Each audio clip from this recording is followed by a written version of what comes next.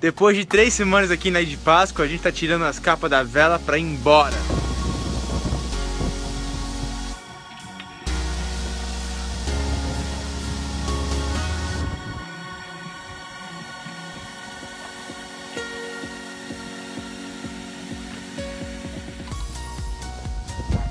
Bora! Montar a linha de vida, se alguém cair na água, pelo menos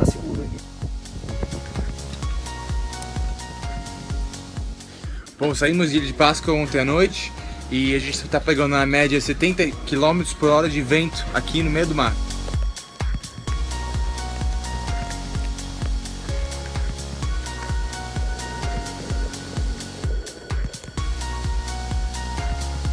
Nossa!